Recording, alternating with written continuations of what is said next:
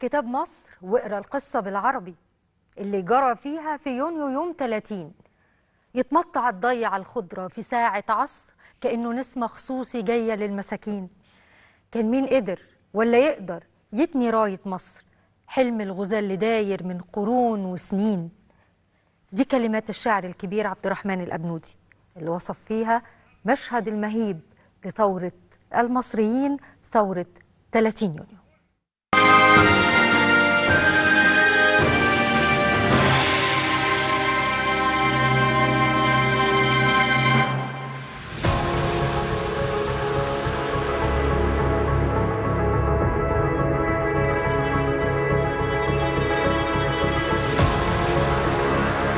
ولولا جيش مصر والله ما كانت اتلحقت.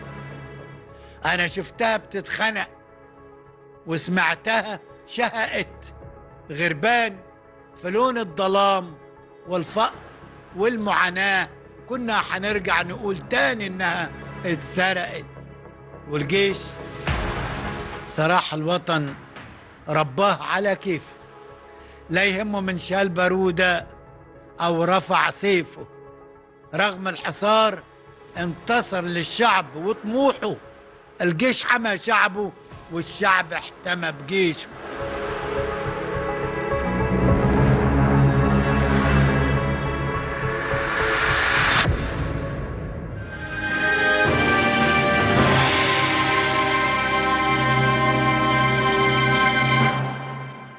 زي النهارده من 11 سنة خرج الملايين من أبناء شعب مصر بمختلف فئاتهم وشرائحهم لميادين مصر المختلفة في كل المدن والمحافظات.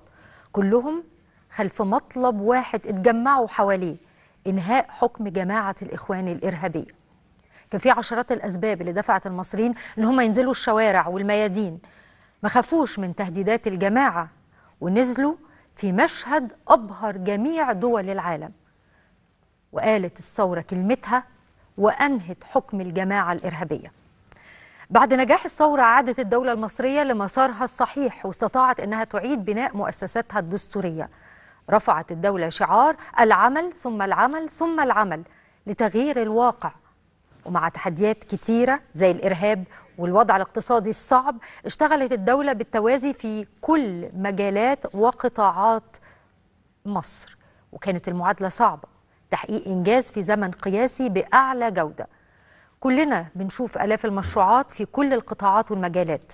تنمية في كل أنحاء مصر. مشروعات كانت كفيلة لانطلاقة الجمهورية الجديدة.